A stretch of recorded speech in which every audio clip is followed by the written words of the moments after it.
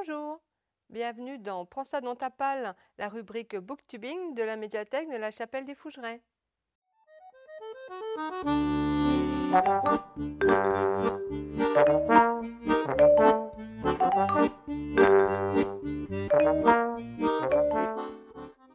Je vous présente aujourd'hui deux romans, Esclaves et Égaux. Ce sont les deux premiers tomes de la trilogie Les Puissants de Vic James. L'histoire se déroule en Angleterre. Mais dans cette Angleterre-là, chacun doit donner dix ans de sa vie en esclavage. Seule une petite partie de la population en est exemptée. Ce sont les égaux. Ces aristocrates ont des pouvoirs surnaturels et c'est eux qui dirigent le pays. La famille Adley a décidé d'anticiper leur jour d'esclavage afin de rester tous ensemble il y a Abby, 18 ans, Luc, 15 ans, la petite Daisy, 8 ans, et les parents. En général, lorsque les familles décident de faire ensemble leur temps d'esclavage, ils peuvent rester tous ensemble.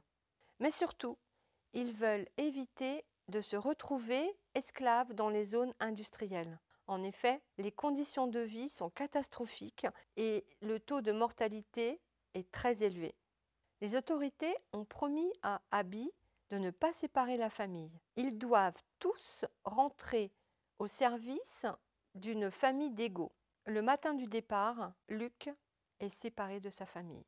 Il se retrouve esclave dans une zone industrielle. Dans ces deux romans, les chapitres alternent entre Abby et sa vie chez les égaux et Luc, ses conditions de vie dans la zone industrielle. Ce sont deux superbes romans qui vous plongent dans un univers dystopique. L'auteur nous tient en haleine du début à la fin. Si j'ai un message à passer à Vic James ou aux éditeurs, s'il vous plaît, dépêchez-vous de sortir le tome 3. Voilà, j'espère vous avoir donné envie de lire cette trilogie. Pour aujourd'hui, c'est terminé. J'espère vous retrouver très bientôt sur notre chaîne YouTube. Au revoir Thank you.